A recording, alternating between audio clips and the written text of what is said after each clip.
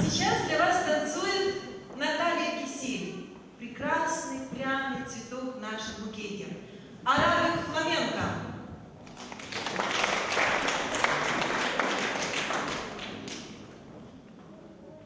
Thank